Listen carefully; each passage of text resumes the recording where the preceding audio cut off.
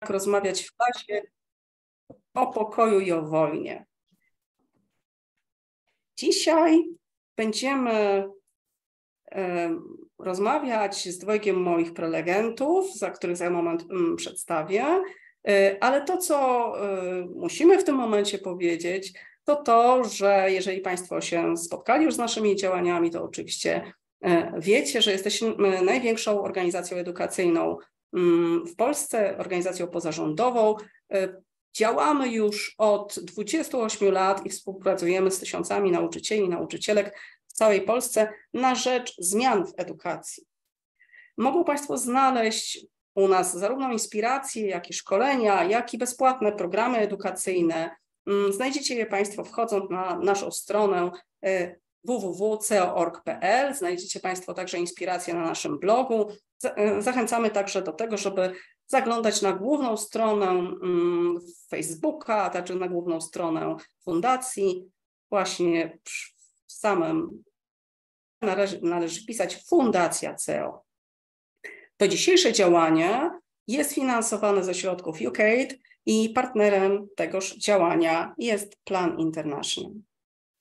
Moimi dzisiejszymi gośćmi, ja się nazywam Emilia Kędziorek, to jest to, o czym zawsze, zawsze zapominam e, w takich sytuacjach. Nazywam się Emilia Kędziorek, jestem, jestem koordynatorką projektu Wychowanie to podstawa, przeznaczonym przede, przeznaczonego przede wszystkim dla wychowawców klas 4-8, ale także staramy się tutaj szeroko adresować nasze działania do wychowawców i stwierdziliśmy, że temat pokoju, zwłaszcza w dzisiejszej takiej sytuacji bardzo, bardzo niepewnej, może być dla Państwa naprawdę interesujący. I dlatego zaprosiłam tutaj do tego pokoju webinarowego Sariana Jarosza, e, edukatora praw człowieka, badacza śledczego, byłego dziennikarza mm, związanego z, z konsorcjum migracyjnym, wcześniej z Amnesty International i Forum Młodych Dyplomatów, mm, obecnie e, wiceprzewodniczącego Peace Ambassadors Poland. I Sarian mówi, że pokój to jest dla niego mrówcza praca. Będzie mówił tutaj z takiego punktu widzenia aktywisty i działacza przede wszystkim. Joanna Roszak będzie także mówiła z punktu widzenia aktywistycznego, ale bardziej od strony tablicy.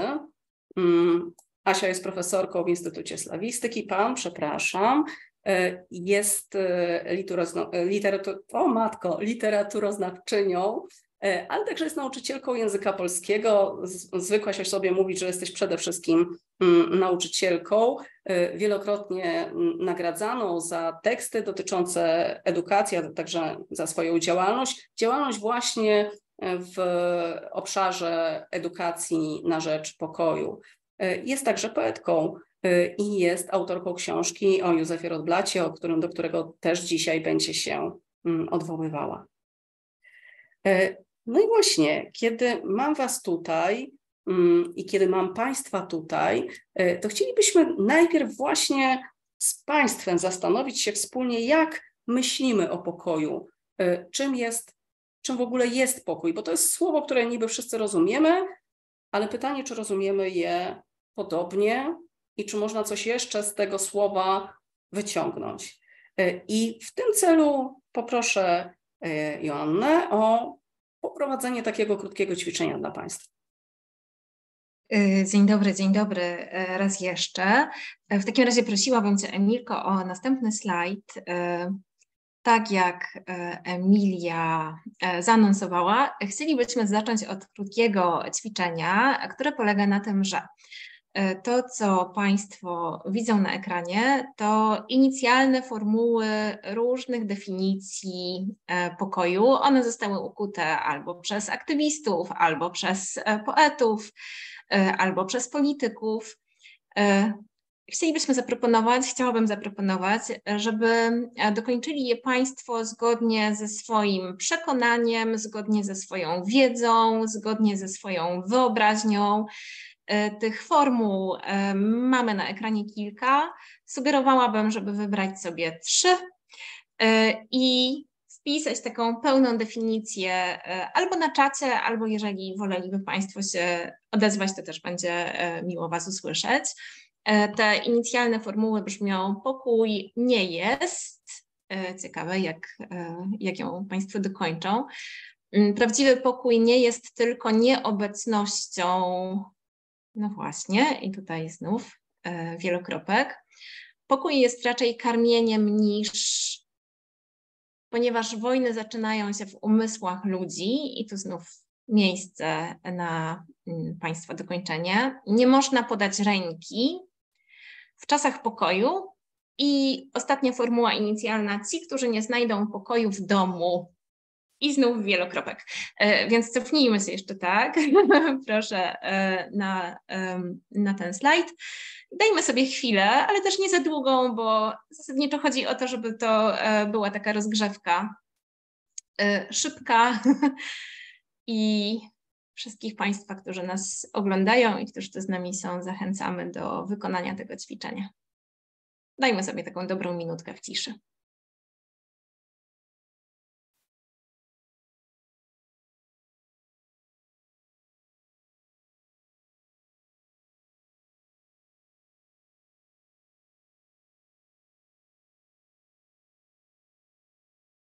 Mhm, super, na czacie pojawiają się pierwsze definicje. Dzięki Sarianie, dzięki Panie Leszku.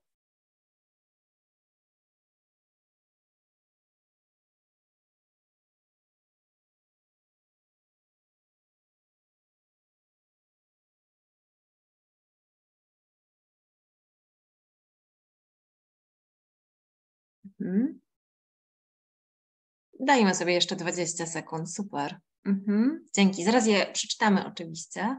Nie chcę zagadywać, żeby mm, nie burzyć takiej ciszy i skupienia.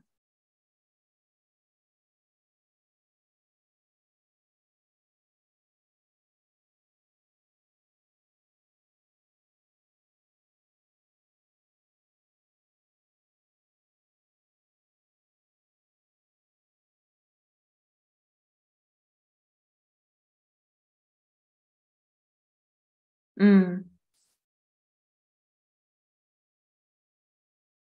Świetnie, dzięki.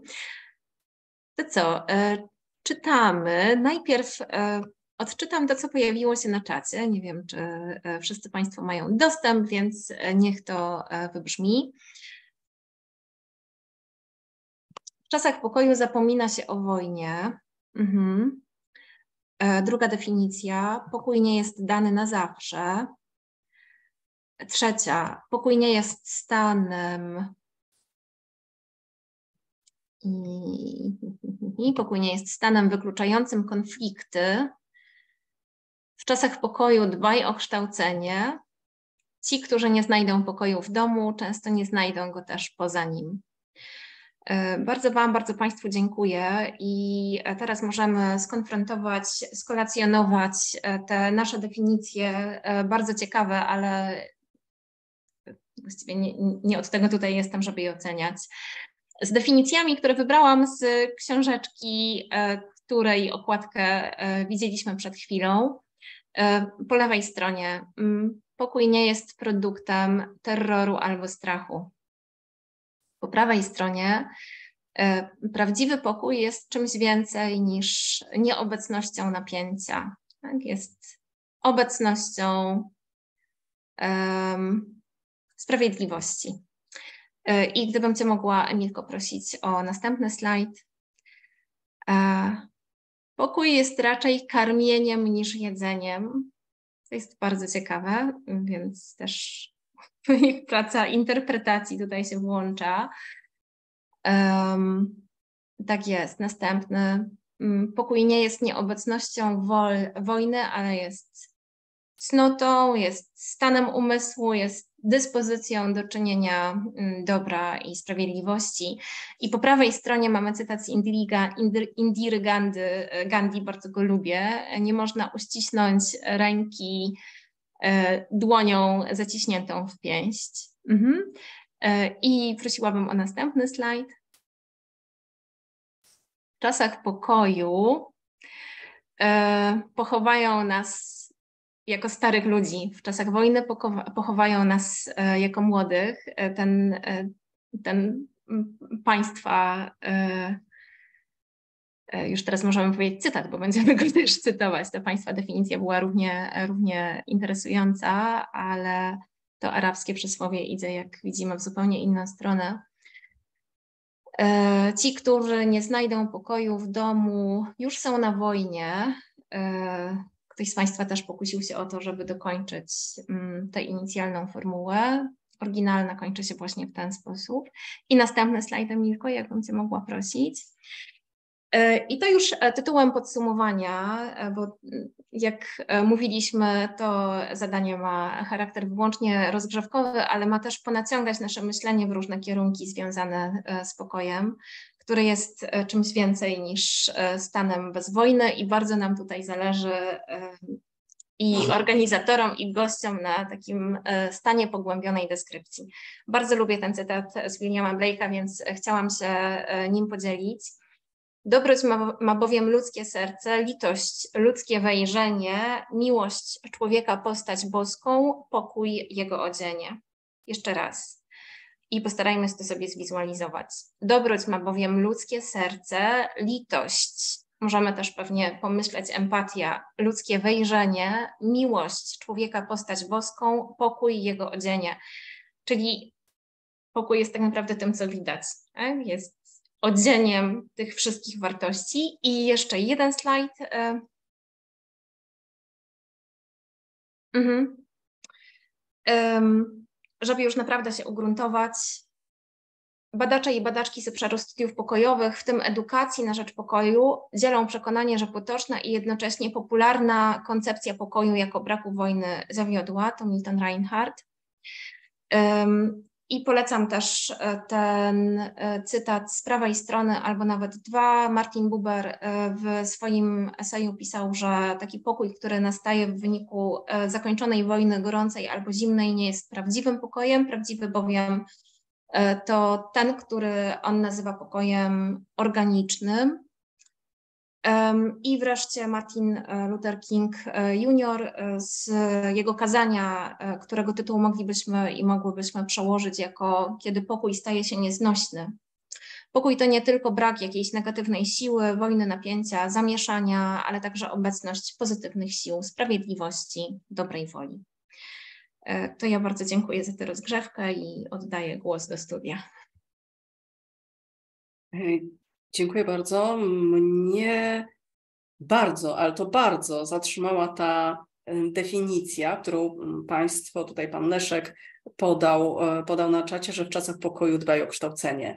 E, ja myślę, że oczywiście jeszcze pytanie, o jakie kształcenie, ale że trochę, trochę po to tutaj jesteśmy, chociaż ten stan, w którym w tej chwili się znajdujemy, myślę, że gdybyśmy, gdybym zaraz przeprowadziła teraz Mm, jakiś quiz i zapytała, czy nazwiemy go pokojem, czy nazwiemy go wojną, czy nazwiemy go czymś pomiędzy, e, to, to różne definicje tutaj by się mm, pojawiły, zarówno, zarówno wśród Państwa, mm, jak i wśród e, obecnych, jak, e, jaka się powiedziała, w studio ze mną prelegentów, w, w tym wirtualnym studio. No ale dobrze, chciałam, zanim pójdziemy jeszcze głębiej, zrozumieć mocniej Wasze motywację, mm, Twoje Sarianie i Twoje Asiu, e, dlaczego w ogóle zajęliście się edukacją pokojową? Mm, jak to się zaczęło? Co Was tak przyciągnęło w ogóle do tego, e, do tego e, obszaru? Sarianie. Cześć, dobra, to ja mogę zacząć.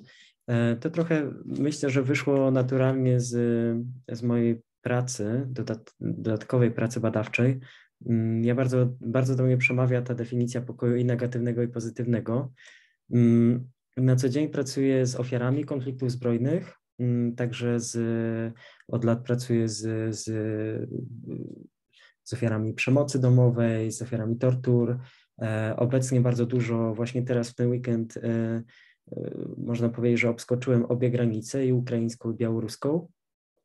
Więc e, można powiedzieć, że dla mnie bardzo ważne jest to, że ja widzę e, przykład na to, co jeżeli niepokój. E, rozmawiam z osobami, które doświadczyły wojny i rozmawiam z osobami, które też pragną pokoju i pragną go bardzo i które bardzo często to pojawia się w, bardzo często w rozmowach, nawet w ten weekend, to znaczy, że, że, że na przykład wojna na te osoby spadła niespodziewanie właśnie w czasach takich najbardziej um, najbardziej, naj, najbardziej niespodziewanych w momencie, w którym osoby musiały uciekać. Obecnie dużo właśnie pracuję z, z, z osobami uchodźczymi z różnych stref zbrojnych. My sobie żartujemy w mojej pracy, że pokój oznaczałby, że będziemy bezrobotni, ale nie mam, nie mam z tym problemu. Bardzo chętnie, bardzo chętnie e, zmieniłbym fach wtedy, e, jeżeli taka byłaby cena. E, dla mnie pokój osobiście to jest może to jest taka ciągła, mrówcza praca. To jest to mnóstwo niewidzialnych różnych rzeczy, które muszą się wydarzyć, żeby, żeby przeciwdziałać. To jest taka praca prewencyjna, dlatego że wojna i konflikt mają to nie jest to samo oczywiście, o czym pewnie jeszcze wspomnimy, ale mają taką, taki magnetyzm, e, który sprawia, że po pierwsze jesteśmy bombardowani negatywnymi informacjami o wojnie i pokoju, a bardzo rzadko, słysz, e, e, przepraszam, o wojnie i konflikcie, ale bardzo rzadko rozmawiamy o pokoju i o tym, ile on kosztuje i jakie są jego kulisy, ile osób, instytucji, mechanizmów, aktywistów, edukatorów, edukatorek, o czym właśnie dzisiaj trochę rozmawiamy, ile się musi wydarzyć, żeby pewne rzeczy się nie wydarzyły.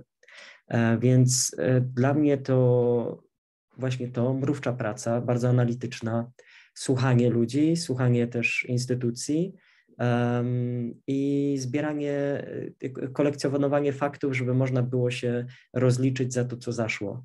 Um, natomiast sama edukacja, można powiedzieć, że to jest coś mi bardzo bliskiego, dlatego że czuję, że wtedy czuję, że to bardzo mocno uzupełnia moją codzienną pracę w taki sposób, że mogę też opowiadać o czymś e, pozytywnym. To ma wartość i terapeutyczną dla mnie, i mam wrażenie, że też taką e, przyszłościową dla, dla, dla innych. Mam też poczucie, że w naszym systemie edukacji, tak jak ja go wspominam przynajmniej, bardzo dużo e, znaczenia ma wojna i konflikt i bardzo się je gloryfikuje.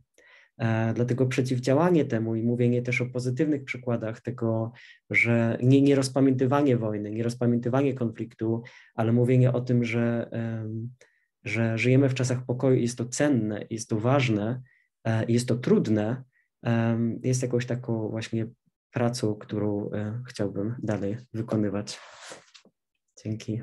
Dzięki. Tak jak Cię słuchałam, to miałam poczucie, że chcesz się zajmować edukacją pokojową, zajmujesz się edukacją pokojową, ze względu na to, że po prostu byłeś świadkiem tego właśnie, co, co, co, co oznacza ten, ten brak pokoju dla ludzi, z którymi masz na żywo do czynienia. Nie czytasz o nich w prasie, nie oglądasz ich w telewizji, tylko po prostu y, ich spotykasz y, w tym obszarze konfliktowym, przy granicy chociażby, ale nie tylko, bo przecież Twoja praca wcześniej polegała na mm, na pracę z, z osobami doświadczonymi konfliktem w innych rejonach.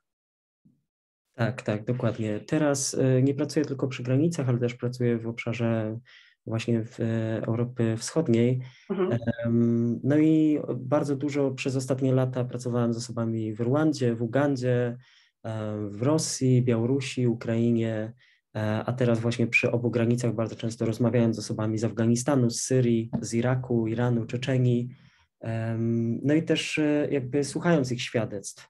Niektóre z tych świadectw są bardzo niedawne, niektóre z tych osób są, rozmawiam też na przykład z osobami małoletnimi, z bardzo dużo oczywiście z, z kobietami, które musiały, musiały uciekać z Ukrainy z dnia na dzień. Więc no tak, samo wysłuchiwanie tych świadectw sprawia, że, że aż chce się przeciwdziałać wszystkiemu, co, e, co może nadejść w przyszłości.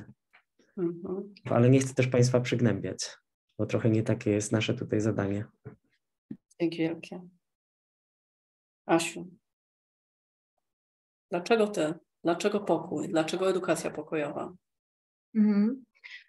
E, ja przez wiele lat takiej nie nazywałam, ale um, właściwie od kiedy zaczęłam pracować w szkole, y, czyli staje się, że w przyszłym roku minie 20 lat y, i jako nauczycielka języka polskiego i jako wychowawczyni y, klas, zawsze starałam się wchodzić na te obszary, które były mi bliskie i o których myślałam, że są takimi obszarami do transformacji, do zmiany, a wydaje mi się, że właśnie ta transformacyjna siła jest takim E, taką wielką mocą e, w edukacji właśnie. E, więc do pewnego momentu myślałam sobie właśnie taką mozaiką. Aha, dzisiaj działaliśmy w obszarze edukacji globalnej.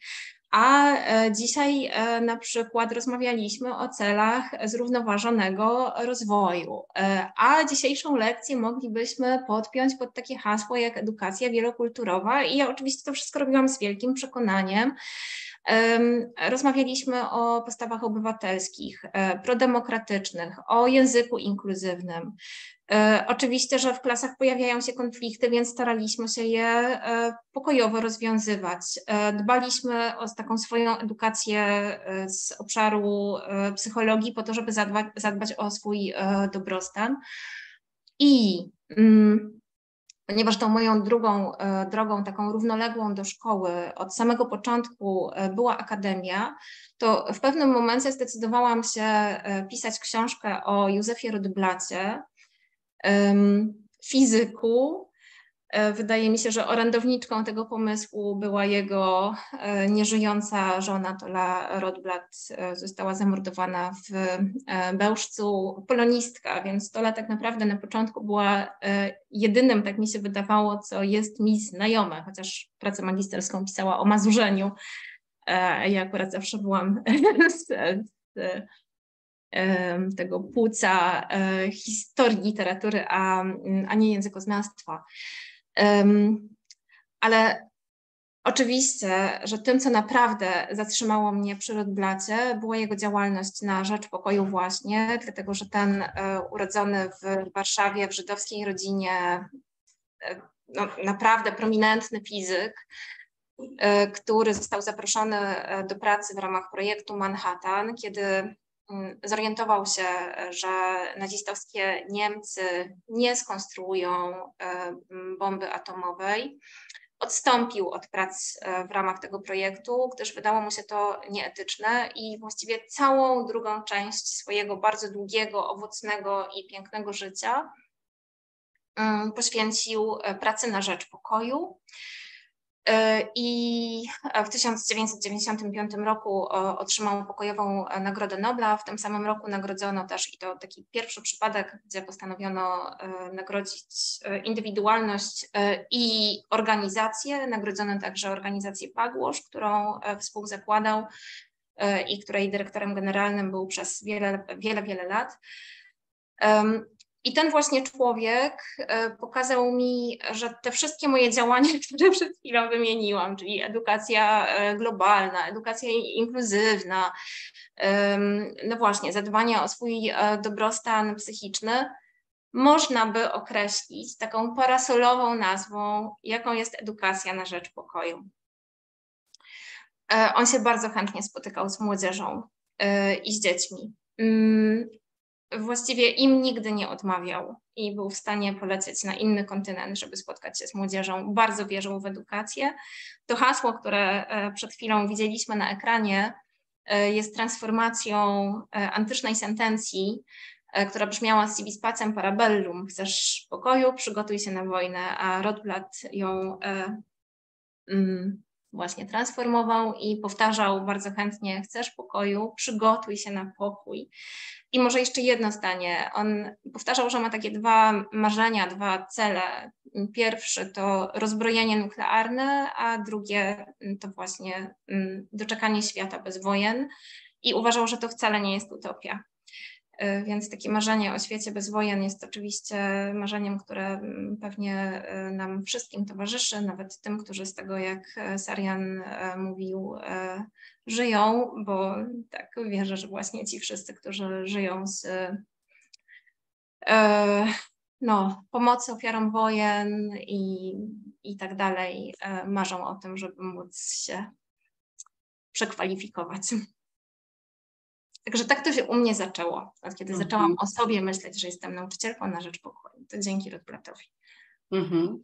Dla mnie to jest absolutnie fascynujące, że, że, że właśnie w, w, słowie pokój, ale także w idei pokoju znalazłaś ten wspólny mianownik do tego, do tego co już e, robiłaś. Jestem ogromnie e, ciekawa też, czy Państwo, którzy nas w tej chwili oglądacie i słuchacie, w ogóle myśleliście kiedyś o swojej działalności edukacyjnej właśnie w ten sposób, że e, to, co robicie, ma tak ważną misję, że działamy na rzecz, możemy działać na, na rzecz pokoju, nie w ramach jakiejś akcyjności, tylko w ramach tego, co robimy na co dzień szko w szkole.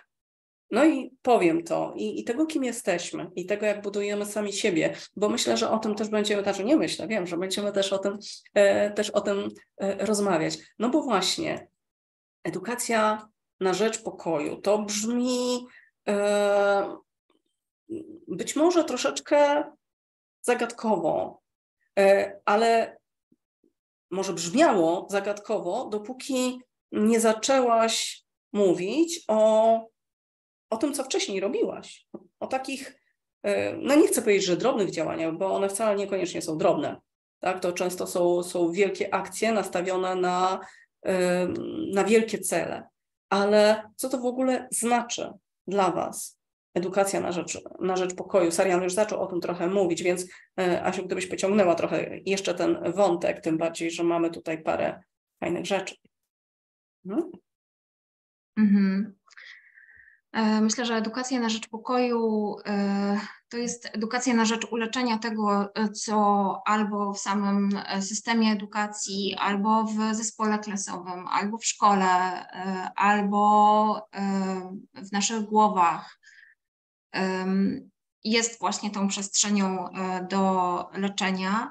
I tutaj bardzo chętnie opowiem Państwu o innej ważnej mm, postaci, która też ugruntowała moje myślenie o tym, czym jest edukacja na rzecz pokoju i, mm, i, e, i pokój w ogóle. Właściwie chętnie powiem o dwóch osobach. Pierwszą z nich jest Johann Galtung, e, Norweg, E, który w 1955 roku wydał ze swoim przyjacielem i profesorem Arnenesem, to też istotna postać, jeśli chodzi o e, tę przestrzeń, mm, książkę Etyka polityczna Gandiego. E, a w 1959 roku założył on pierwszy na świecie instytut akademicki właśnie z pokojem w nazwie. Mam na myśli Międzynarodowy Instytut Badań nad Pokojem w Oslo, e, bo warto pewnie e, zaznaczyć, że dzisiaj istnieje ponad 500 programów akademickich Peace Studies na uniwersytetach, uniwersytetach całego świata. W Polsce Peace Studies nie można studiować. E, natomiast to jest ten ostatni etap kształcenia, a edukacja na rzecz pokoju mm, powinna, tak myślę, e, być oferowana nam już i wiemy, że to się dzieje w przedszkolu i później przez e, wszystkie piętra edukacyjne, właśnie aż do tego, w którym możemy wyjechać na przykład na Erasmusa do Oslo albo do Londynu albo do Berlina i tam studiować na kierunku Peace Studies. E, ale o Galtungu chciałabym powiedzieć jeszcze, e, jeszcze jedną anegdotę. E, jego przodkowie przez kilka pokoleń pracowali jako lekarze, też pielęgniarki i kiedy przyszedł on na świat, jeden z przyjaciół rodziny powiedział, oho, narodził się lekarz. I później wracano do tego momentu, bo poniekąd się on nie mylił, e, dlatego że pacjentami e, Galtunga i tak też może być z no właśnie pacjentami edukacji pokojowej. Bardzo często były całe społeczeństwa. On zresztą zaadaptował w pewnym momencie terminologię medyczną, żeby ukazać drogę do pokoju i stawiał najpierw diagnozę, czyli pokazywał, co jest źródłem cierpienia, później opracowywał prognozę, E, pokazywał, co może się wydarzyć, jeżeli nie nastąpi jakaś interwencja i prowadził terapię, czyli wskazywał, co można zrobić, żeby zmniejszyć e, cierpienie. I uważał też, e, nauczył się tego od swojego ojca chirurga, że takie omawianie problemów medycznych bez pomocy cierpiącym jest niemoralne. I tak samo jest pewnie w jakimś stopniu niemoralne zajmowanie się tylko teoretycznie edukacją e, na rzecz pokoju. Tak, to to jest jedna postać, e, Johann Galtung. Natomiast e, druga to Amerykanka urodzona w 1929 roku, badaczka związana z Uniwersytetem Columbia, Betty Reardon. O właśnie, e, tak, ten slajd też możemy pokazać. Alice Building, one dwie są uważane za literki edukacji e, na rzecz pokoju e, i też edukacji takiej profeministycznej. To właśnie z tekstu Betty Lirdon pochodzi ta kolista grafika. Możesz się, Emilko, cofnąć do niej.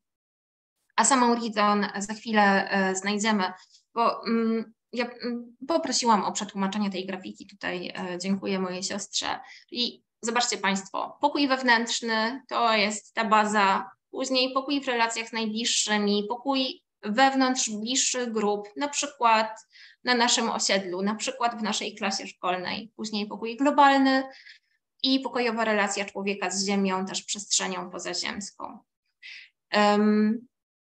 Tak, natomiast e, tu widzimy e, Alice Building na zdjęciu. Możemy teraz przeskoczyć tych kilka slajdów, istotnie, e, żebyśmy zobaczyli jeszcze, o tak, Betty Lirdon. I ona ułożyła takie równanie, które bardzo lubię. Pokazała, że edukacja na rzecz pokoju sprowadza się do takich czterech P, cztery razy P. I to jest to, co personalne, czyli możemy tutaj myśleć o osobowości nauczyciela, ale przecież także, co jest też niebagatelne, o takich przykładach jak e, Józef Rodblat albo na przykład Wangari Maathai, czyli kenijska noblistka, o której też bardzo chętnie e, mówię, bo ją podziwiam, ale sprawdziłam to w moich klasach i wiem, że ten e, przykład cudownie działa. Kiedy się urodziła w jej plemieniu Kikuju, nie znano e, słowa oznaczającego pustynię, bo ono zwyczajnie nie było potrzebne. E, później e, Wangari wyjechała e, na studia za granicę i kiedy wróciła do Kenii, mm, to słowo już istniało w języku, dlatego że zdążono wyciąć połacie lasów. I ona je odtworzyła, zainicjowała taki ruch Zielonego Pasa, w dużej mierze oparty na pracy kobiet. I bardzo chętnie opowiadała też, mogą sobie Państwo wyszukać tę opowieść na YouTubie, taką historyjkę o kolibrze, który podczas pożaru lasu e, ku zdziwieniu innych zwierząt biernych, oszołomionych tym, co się dzieje, e, latał do pobliskiego jeziora i stamtąd nabierał w swój mały dziób krople wody, po czym upuszczał ją na pożogę. I zapytany, dlaczego to robi, powiedział: Robię tyle, ile jest dla mnie możliwe. Więc ja cały czas mam wrażenie, i już to kiedyś mówiłam, e, zresztą też w kręgach Centrum Edukacji Obywatelskiej, że od lat przyglądamy się czemuś, co można by określić pożarem polskiej edukacji i tacy nauczyciele na rzecz pokoju są właśnie jak e, kolibry z opowieści Wangari Matai. E, to, to jest ten pierwszy E, element e, z 4P Betty drugi to to, co polityczne. E, nie będę tego rozwijać, ale sam fakt, że funkcjonujemy w jakiejś grupie sprawia, że jesteśmy no, jakoś polityczni, tak po arystotelesowsku chociażby. To, co pedagogiczne, i to, co poetyckie, więc pozwolono mi tutaj przeczytać wiersz, żartuję, bo z przyjemnością stwierdzono go tutaj przygarniemy, ale e, on też świetnie pokazuje, czym jest edukacja na rzecz pokoju, ale również jak można wykorzystać wiersz w naszej praktyce szkolnej. To może tyle, niech to równanie też w nas pracuje i e, może ten set bym tutaj zamknęła. E, kiedy Cię słucham, to dla mnie jest takie mocno poruszające, to, mm, to ta praca z e, jest dla mnie mocno poruszająca ta praca z opowieścią, z opowieścią e, zarówno tą o kolibrze, w tym znaczeniu, że z pewną metaforą, trochę z przypowieścią, która pozwala nam się przeglądać nam jako nauczycielom, nam jako uczniom, nam jako ludziom, jak byśmy chcieliby żyć. E, I właśnie te opowieści o ludziach, którzy są swoistymi role models do tego, jak chcemy żyć. E, padło to dzisiaj w, naszym, w naszej rozmowie słowo nadzieja. Dla mnie tego typu opowieści to są opowieści niosące, e, niosące nadzieję. Czy, czy według Ciebie przez działania pedagogiczne i przez poezję, co Dla mnie to prawie jedno i to samo, przepraszam, ale mam pewne, pewne humanistyczne zboczenie. E, czy da się budować nadzieję?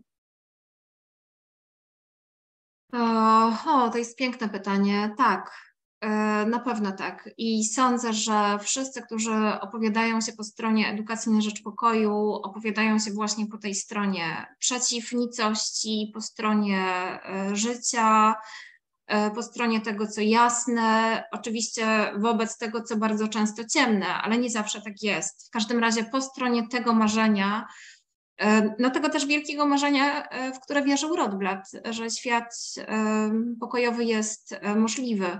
Więc e, wszystkie działania, które prowadzi taki nauczyciel i taka nauczycielka, taki uczeń, taka uczennica, czy takie całe zespoły, albo w idealnej sytuacji całe szkoły, co pewnie jest w ogóle wyjątkowe, prowadzi do zrozumienia globalnych problemów, i tych problemów właśnie wewnątrz personalnych, czyli znowu cofamy się po tych okręgach, które sobie tutaj e, wyświetliliśmy, w stronę docenienia pokoju, no czyli tak, w stronę nadziei, zdecydowanie. Może też warto powiedzieć, co zresztą e, badacze edukacji na rzecz pokoju stale podkreślają, że ta edukacja jest holistyczna i ona obejmuje zarówno rozwój fizyczny, to też mieliśmy na jednym slajdzie, e, emocjonalny, intelektualny, społeczny dzieci i młodzieży i e, ponieważ to właściwie cytat to Franz Schmidt, Alice Friedman w ten sposób o edukacji na rzecz pokoju e, mówili i też właśnie zmierzali w stronę tego pojęcia, jakim jest nadzieja. Zresztą kiedy wiele lat temu mm, Pierwsze książki na temat e, edukacji propokojowej przygarnęłam na swoje półki, głównie w języku angielskim. E, pierwsze skrypty, kiedy odwiedziłam Tromso, z którym zresztą związany też jest e, profesor Galtung i spędziłam tam dwa tygodnie właśnie na kierunku Peace Studies, to co mnie ujęło, to jak często takie, takie słowa jak nadzieja i miłość pojawiają się w pracach naukowych związanych z edukacją na rzecz pokoju. To jest rzeczywiście ciekawe. Wydaje się, że to są takie miękkie słowa, takie słabe słowa. Jakże zakazane, prawda? I e, no właśnie, i w poezji, chociaż jest na indeksie słów zakazanych, miłość i nadzieja, chyba że jest się miłoszem i pisze się taki piękny tryptyk, jaki jemu się zdarzył. E, wiara, nadzieja, miłość. E, no, trochę żartuję, ale tak, no to są słowa zakazane, prawda? One są zupełnie naukowe, chyba że badamy pokój i edukację, a już szczególnie edukację na rzecz pokoju. Dzięki. Dzięki. Ja myślę, serialnie, że dla Ciebie to będzie też e, fascynujący punkt wyjścia do tego, żeby opowiedzieć, czym dla Ciebie jest edukacja na rzecz pokoju, bo wiem, że też myślisz o niej właśnie holistycznie że to nie jest kwestia, nie wiem, wejścia z pogadanką do jakiejś y, społeczności, czy to szkolnej, czy to, czy to nieformalnej, prawda? Tak, tak, jak najbardziej. Bardzo też do mnie y, trafiły Twoje słowa, Asiu. Tak, ja też myślę o tym holistycznie. Myślę też o tym, że e, jak ciężko jest czasami opowiadałem o tym trochę wcześniej, o przeciwdziałaniu takiej militaryzacji języka, takiego mówienia o wojnie, martyrologii, która jest obecna w naszym systemie edukacji, ale też myśleniu, mówieniu, mediach, e, dyskursie politycznym. E, bardzo ciężko jest temu przeciwdziałać i dlatego najlepiej przeciwdziałać temu na przykładach. Mm, mówić o tym, że wojna to jest coś, co się wydarzyło, a pokój to jest coś, co trwa i pokazywać osoby, które doświadczyły jednego i drugiego.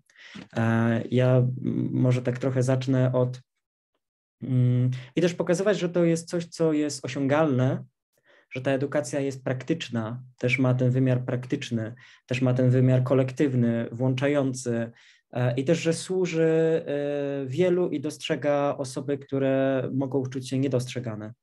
Dlatego, że edukacja e, na rzecz pokoju to jest na przykład dla mnie prywatnie bardzo duży nacisk jest kładziony na pracę z mniejszościami, e, pracę z osobami, które mogą mieć poczucie niedostrzegania, a tym samym jest taka piramida dyskryminacji, potencjalnie dyskryminowane, e, co jest pierwszym często takim stadium, które może prowadzić do no, do polaryzacji społecznej, do tego, że, że, że ludzie obracają się przeciwko innym.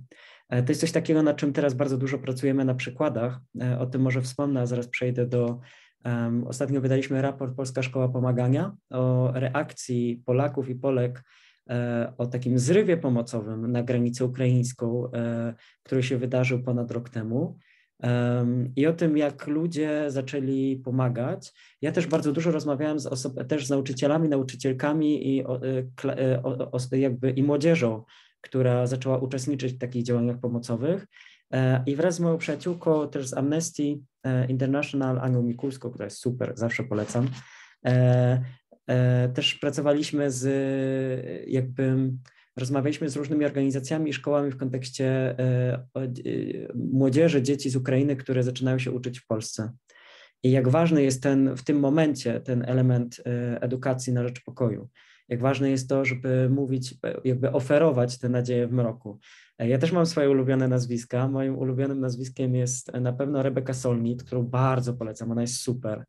E, jedną z moich ulubionych książek Rebeki jest e, a właśnie, e, Nadzieja w mroku.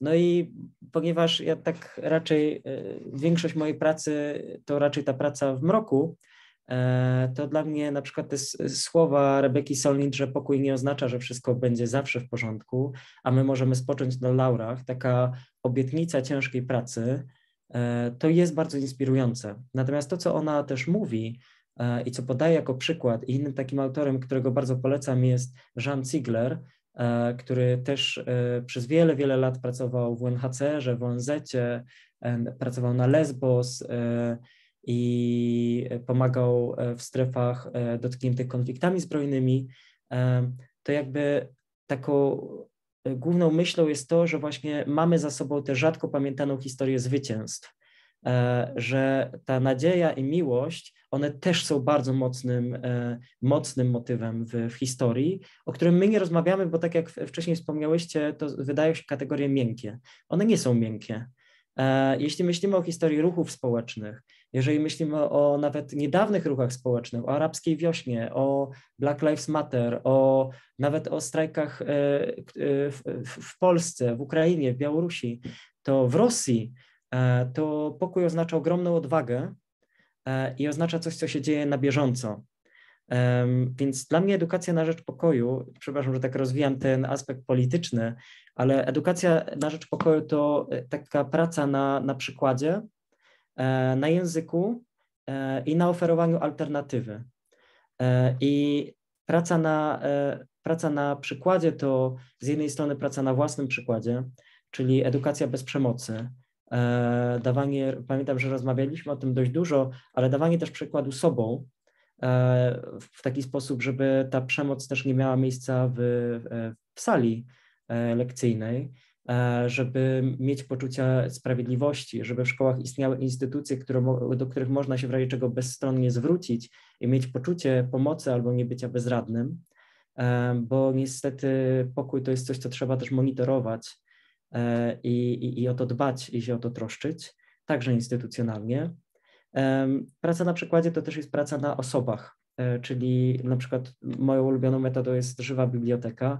Ja właśnie wracam z, z Turynu też gdzie rozmawialiśmy bardzo dużo z osobami z Kosowa, z, e, z Cypru, e, które opowiadały o swoich doświadczeniach i pamiętam, że sam się rozpłakałem słuchając osób z dwóch przeciwległych stron Cypru przedzielonego strefą buchworową, które e, opowiadały o, o tym, jak się poznały, spotkały i się w sobie zakochały.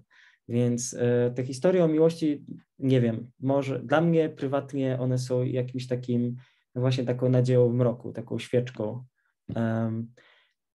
Natomiast jest to też praca e, na alternatywie. Alternatywa wymaga pewnego rodzaju dyscypliny e, i krytycznego myślenia.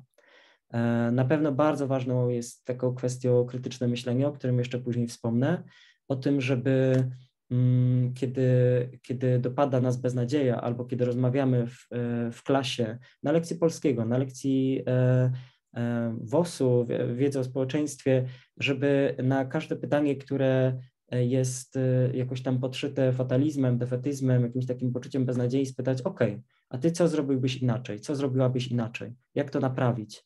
Ja bardzo lubię takie prace, takie prace powiedzmy RPG na, na, na zadaniach, czyli na przykład rozdaję takie symulacje, rozdaję na przykład klęski, opisy klęsk żywiołowych w wymyślonych miejscach albo stref konfliktu, E, no i wtedy to jest praca kolektywna, to znaczy bardzo chętnie się mogę też kiedyś podzielić takimi scenariuszami. E, natomiast to jest praca kolektywna, wtedy w grupach rozwiązujemy problem. Podchodziła do tego od strony analitycznej. Pokazujemy mechanizmy i wcielamy się w mechanizmy, które sprawiają, że ten, jakby ten świat, ten kryzys jest trochę mniejszy, trochę lepszy. E, natomiast jest to też kwestia nauki etyki, przy czym ja znowu, nauka etyki to jest coś, co musi, za czym musi być iść przykład to jest pewien warsztat mhm, i rozbrajanie, e, rozbrajanie tego, co nas otacza. Rozbrajanie tej, e, Asia bardzo słusznie wspomniała, że no, studia o pokoju są dostępne e, w ramach Erasmusa na poziomie uniwersytetu, kiedy dla niektórych po prostu to wciąż jest nieosiągalne, albo jest już nawet za późno. Tego myślenia o pokoju warto się uczyć trochę wcześniej tej, tej holistycznej edukacji warto się uczyć jak najwcześniej i mm, takim przykładem no właśnie jest ta edukacja globalna, edukacja z mniejszościami, ale też takie na co dzień rozbrajanie e, różnych słów, łapanie się na tym, żeby na przykład nie mówić o, e, o wszystkim jako wojnie. Trochę o tym opowiem podczas mojej części warsztatowej. I ostatnim takim, przedostatnim takim aspektem jest e, też troska, uważność i chwila oddechu. E, ponieważ o tym bardzo łatwo zapomnieć. E, wiemy wszyscy, że system edukacji jest przeładowany, zarówno dla osób, które uczą, jak i osób, które się uczą.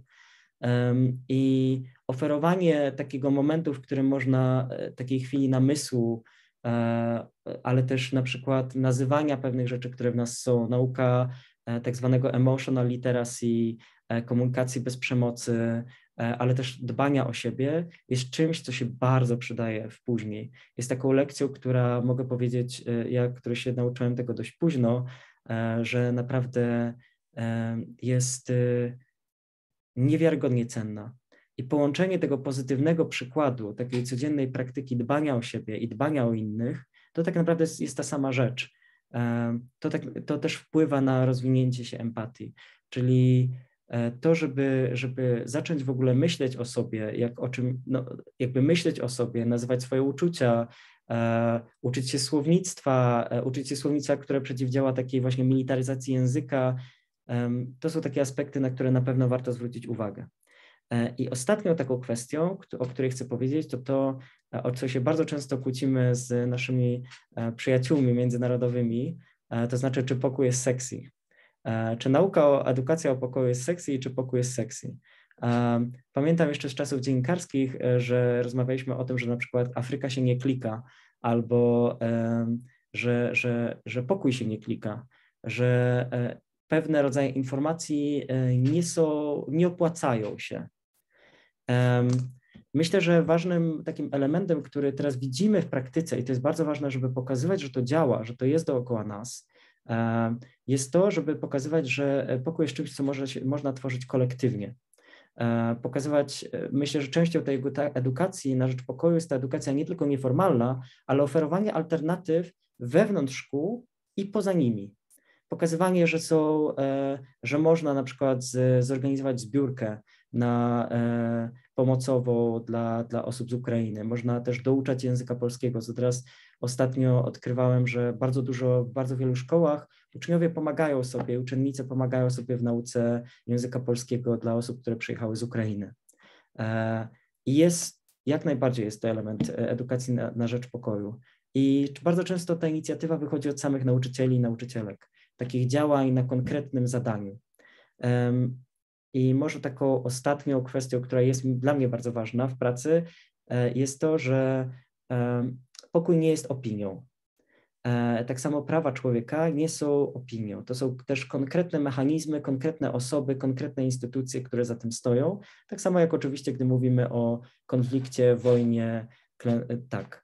E, I warto o tym też mówić. bo bardzo łatwo, ja się napotykam na to bardzo często już później, kiedy pomagam też osobom na studiach, łatwo o tym zapomnieć.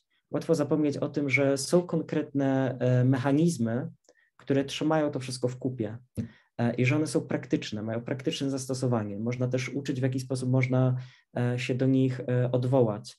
E, że są konkretne organizacje pozarządowe, do których można zawsze się zwrócić, że też nie siedzimy w tym e, samotnie, że, ta, że te bez, powiedzmy, że dzielimy i te nadzieje, i te beznadzieje, i że są na przykład konkretne miejsca, do których możemy się zwrócić, e, żeby w razie czego, myślę, że taką, takim miejscem jest na przykład to nasze spotkanie tutaj, teraz. Mm. I no tak, ja w ramach, ja bardzo często się zajmuję tą twardą częścią, E, czasami, czasami mi aż szkoda tego, ale bardzo to kocham. To znaczy właśnie uczę o prawach człowieka, o tym, jakie mają zastosowanie, e, o konkretnych mechanizmach, o możliwościach, co można zrobić, e, nawet mm, z punktu widzenia takiego obywatelskiego, ale też dla os osób, które są osobami małoletnimi. Dla mnie to jest jakiś taki bardzo ważny aspekt, o który, który często znika, ta polityczność pokoju. E, no dobrze, dziękuję bardzo. To ja myślę, że na razie to tak, tyle ode mnie. Wiesz co, ja chciałam jeszcze, jeszcze wyciągnąć niektóre rzeczy z tego, o czym mówisz. Powiem, powiem, Ci, co, co jakoś szczególnie, e, szczególnie mnie poruszyło. E, takie niby oczywiste rzeczy, o których właśnie mam poczucie, że warto mówić, że w ogóle edukacja antydyskryminacyjna, może to brzmi jakoś właśnie tak mm, w sposób wysublimowany, e, ale w ogóle wyczulanie i siebie, i uczniów na konflikty, które nie są tylko konfliktami takimi dotyczącymi codziennego, różnicy zdań, tylko e, tego typu konflikty, w, której, w których już pojawia się dyskryminacja, wyraźne reagowanie na nie i z drugiej strony rozpoznawanie, reagowanie, mm, przeciwdziałanie wcześniej, y, które jest też oparte y, z jednej strony na twardej wiedzy, z drugiej strony na tym, o czym ty mówiłeś, y, czyli po prostu na wglądzie, tak, po prostu na wglądzie, tak jakby to było proste, tak? Czyli mm, na rozpoznawaniu swoich uczuć, na budowaniu empatii przez to, na budowaniu świadomości społecznej, że okej, okay, inni też mają tak jak ja, inni też czują, inni też są ludźmi, co to za sobą, e, co to za sobą niesie. E, to są dla mnie jakieś takie rzeczy niezwykle istotne. No, no, przyznaję, że, e, że się oburzyłam, kiedy powiedziałeś na lekcjach polskiego, na lekcjach WOS-u, to my możemy za, zachęcać ich do tego, żeby, mm, żeby nie szli w defetyzm, żeby E, żeby sobie pomyśleli, jak można działać pozytywnie, jak można coś zrobić inaczej. Dla mnie to jest właśnie zadanie dla każdego nauczyciela, dla każdego wychowawcy, przy czym ja każdego nauczyciela traktuję jako wychowawcę. E, I, i, I to też jest taki, myślę, pozytywny e, element, że ojej, ile my tak naprawdę możemy w tej szkole zrobić właśnie przez to, że odwracamy ten strumień negatywnego Y, negatywnego myślenia. Oczywiście nie tylko w szkole, tak, ale naszymi, naszymi odbiorcami tutaj są, są głównie y, nauczyciele. No i tak, no ten przykład i to dawanie, dawanie alternatyw, to bardzo mnie porusza. O języku wiem, że jeszcze będziesz mówił. Tak, tak, jak najbardziej. Dzięki. No właśnie, y, o języku będziesz mówił. Ja myślę, że, że, że pociągnijmy ten, ten wątek, bo to aż się prosi. To może być teraz? Mm, jasne, możemy teraz. E, a, przepraszam, jeszcze mam jedną rzecz. E, zanim zaczniemy mówić o języku, to e, wyciągnęłam jeden slajd z tego, co przygotowała Jasia, bo mówiłeś o tym, że na uniwersytecie to już za późno. A tymczasem mamy tutaj taki cytat. Nigdy nie będziemy mieć relacji z planetą pełnych szacunku i czci ani rozsądnych polityk dotyczących tego, co umieszczamy w powietrzu, glebie, wodzie. To jest niby o edukacji globalnej, ale już wiemy, że nie da się tego oddzielić od edukacji na rzecz pokoju. Jeśli już małe dzieci nie zaczną uczyć się o tych rzeczach dosłownie w swoich domach, na podwórkach, ulicach i w szkołach, potrzebujemy, aby istoty ludzkie były ukierunkowane w ten sposób od najmłodszych lat. E, I to jest, proszę Państwa, mm, właśnie cytat z Alice Boulding dobrze czytam jej nazwisko, prawda? Tak przynajmniej mniej więcej. Więc, yy, więc dzięki za to i, i już przepraszam, już Ci daje dostęp do mowy. Zrobisz jakiś wstęp o tym języku, to ja znajdę właściwy slajd. Jasne. Zrobimy sobie małe, krótkie ćwiczenie, e, natomiast to oparte na, może część e, z Państwa już o tym słyszała, e, na takiej filozofii, ścieżce myślenia factfulness, która jest mi bardzo bliska. To jest takie myślenie, może nie chcę za dużo, za dużo, za dużo opowiadać, ale E, to jest książka, która została 2-3 lata, 3 lata temu wydana w Polsce, e, opisana przez Hansa i Annę Rosling, e, małżeństwo badaczy, badaczek. W książce Factfulness, dlaczego świat jest lepszy niż myślimy. I dla mnie to na pewno była książka ważna, bardzo ważna, dlatego że ja przeczytałem ją świeżo po tym, jak przez jakiś czas pracowałem właśnie w, w, z z osobami dotkniętymi e, e, klęskami żywiołowymi oraz konfliktami oraz e, po jakimś czasie spędzonym jak, jako dziennikarz telewizyjny.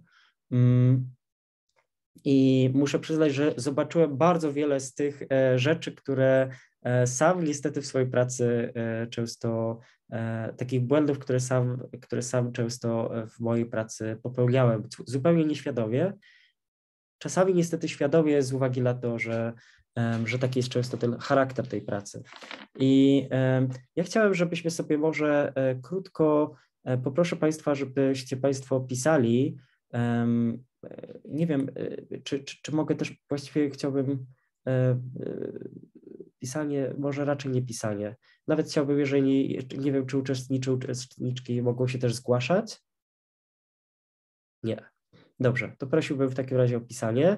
Mm, ja będę czytał konkretne zdanie, a Państwo, wiem jak to e, prosto brzmi, ale Państwo będą mi, powiedzą mi, e, co Państwu w tym zdaniu e, nie gra.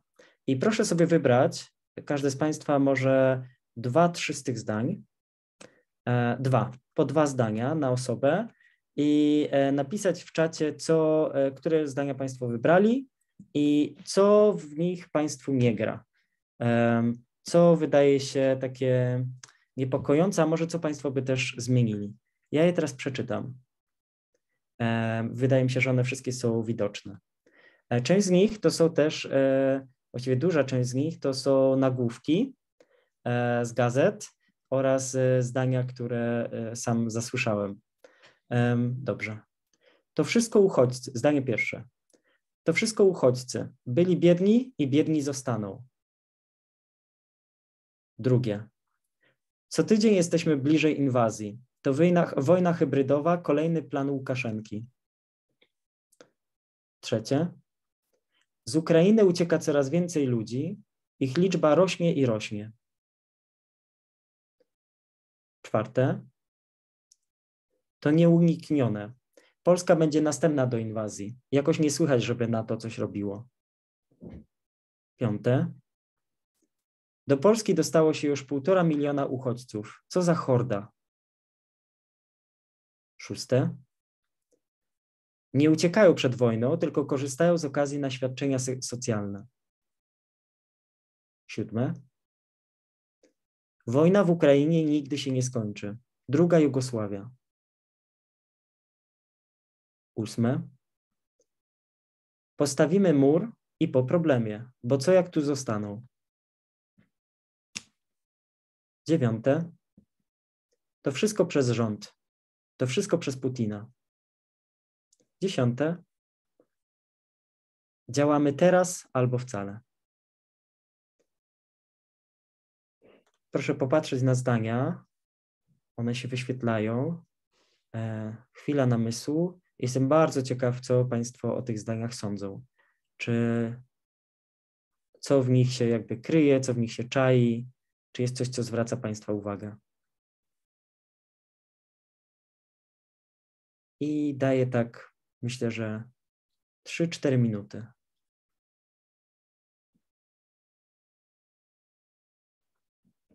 Jeśli są jakieś wątpliwości, to też proszę śmiało e, pisać.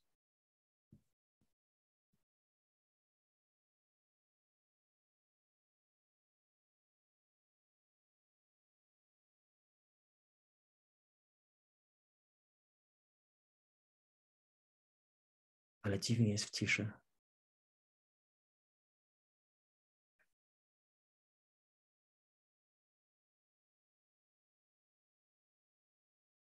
A i oczywiście Asię i Emilię też zapraszam. To śmiało proszę wybrać. Bierzcie sobie zdania, które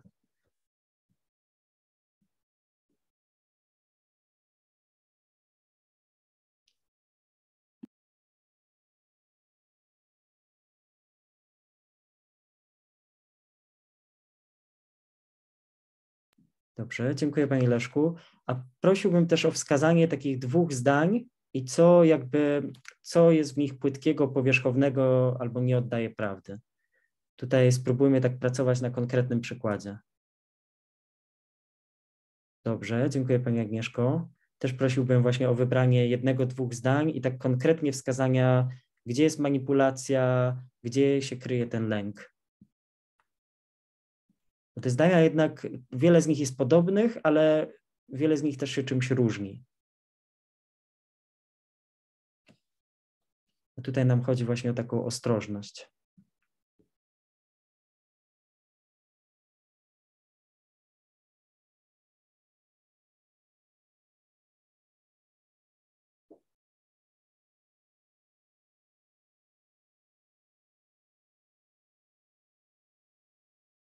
Od razu mówię, że ja nie będę pisał.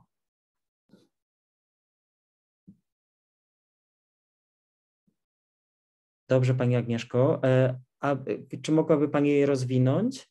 Czemu, czemu, czemu u Pani to podsyca lęk? Z czego wynika ten lęk?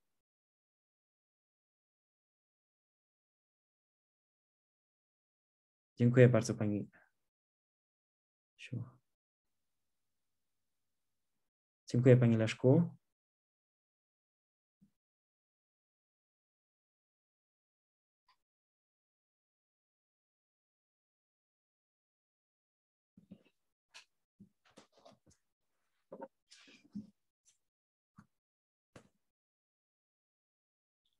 Jeszcze dwie minuty.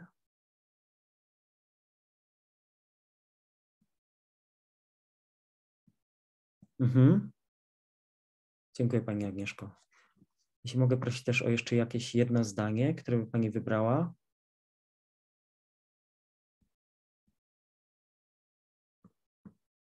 Nie ma co też ukrywać, że które zdanie nas wkurza.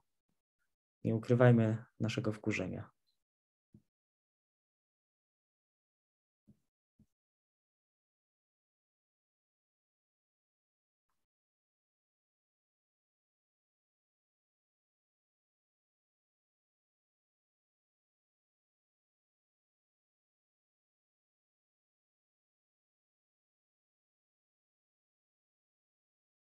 Mhm. Tak, dziękuję Pani Katarzyno. Tak, ja też pamiętam szczególnie pierwsze tygodnie. Hmm.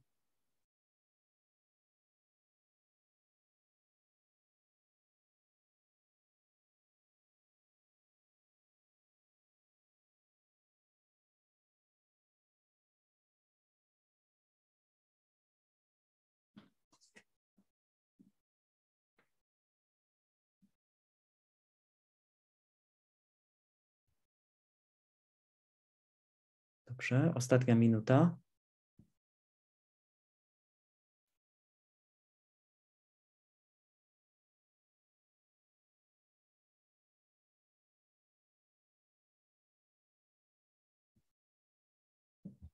Ja tutaj wybrałem zdania przede wszystkim z naszego kontekstu tych ostatnich dwóch lat celowo i też z różnych etapów, z różnych momentów. Ja bym Cię bardzo poprosiła, żebyś na koniec tego ćwiczenia przeczytał e, komentarze z czatu, tak. ponieważ e, jesteśmy te, mamy transmisję na Facebooku, no i będzie nagranie i ludzie nie zobaczą po prostu tego, o czym w tej chwili dyskutujemy. Dobrze. Myślę, że możemy już kończyć w takim razie. Jeżeli ktoś jeszcze kończy, to proszę śmiało, zanim ja przeczytam, to Państwo napiszą. Dobrze. E, to przeczytam w takim razie.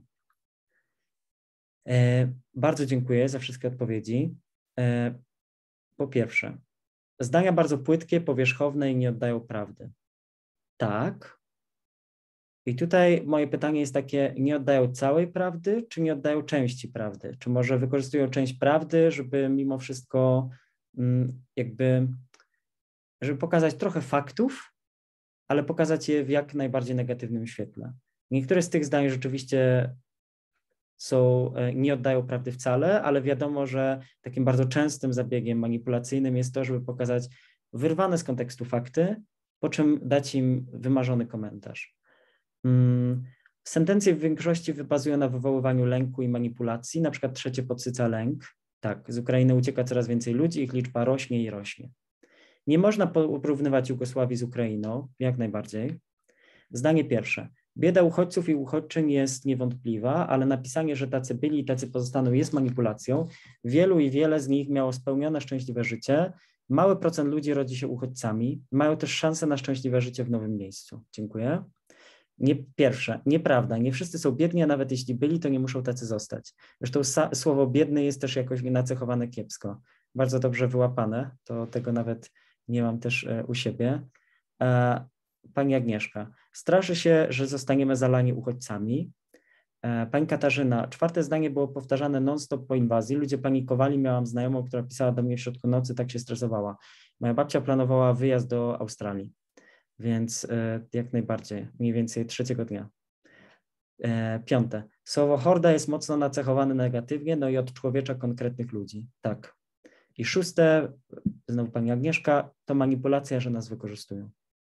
Jak najbardziej, bardzo dziękuję. A teraz chcę coś e, pokazać. Chcę. E, Hans Rosling i Anna Rosling w pewien sposób skategoryzowali te różne instynkty, które kazają, każą nam tworzyć takie zdania, ale też odpowiadać na, takie, na taką treść. Pokazywali, że konkretne lęki i konkretne instynkty wpływają na naszą fatalistyczną wizję świata, nawet jeżeli tak naprawdę e, świat aż tak fatalistyczny nie jest. Jeżeli mogę prosić o następny slajd, będziemy sobie powoli e, przechodzić przez to. E, instynkt przepaści. Przepraszam, jednak mogę prosić o poprzedni? Pierwszy to jest instynkt przepaści. To wszystko uchodźcy byli biedni i biedni zostaną. E, to jest mi bardzo bliskie, e, jeśli chodzi o badania, to znaczy mówienie o tym, że istnieje tylko jedna graniczna, ekstremalna kategoria. Wszyscy uchodźcy są biedni. E, bardzo często rozmawiam z uchodźcami, uchodźczyniami, którzy mieli bardzo dobre życie w kraju, z którego pochodzili, dopóki nie, nie zabrała go wojna, jak często sami opisują. Mówienie, że wszystkie osoby, które przyjeżdżają, to uchodźcy, mimo tego, że wiele z nich to nie są uchodźcy, to są też migranci ekonomiczni, to są osoby, które mają różne statusy, też samo uchodźstwo jest z różnych powodów, to jest bardzo nieprecyzyjne. Byli biedni biedni zostaną, to znowu jest mówienie o tym, że wszyscy, wszystkie osoby, które przyjeżdżają na przykład do Polski, e, były, były, były ubogie albo na krawędzi ubóstwa w swoich państwach. Tragedia tego polega na tym, że bardzo często nie, że bardzo często dla osób przyjazd do, e, do innego kraju, wyjazd, ucieczka przed wojną oznacza stracenie całego dobytku. E, ja ostatnio też rozmawiałem z, z lekarzem, który przyjechał z Ukrainy, który stracił całkowicie swój status, nie może też wykonywać zawodów w Polsce. E, I to jest właśnie taki przykład. Tak. I Rosling proponuje, żeby przeciw. Tak, jeśli mogę, ten slajd. Rosling proponuje, żeby znaleźć większość, zlokalizować większość i pokazać na statystykach na przykład, ile osób rok temu w danym miejscu e, miało, zarabiało tyle i tyle, albo ile było klasą średnią, albo klasą wyższą.